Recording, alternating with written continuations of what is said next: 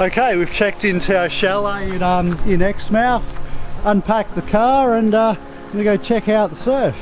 Okay, well the surf's totally flat. Looks like we're doing a bit of snorkeling today.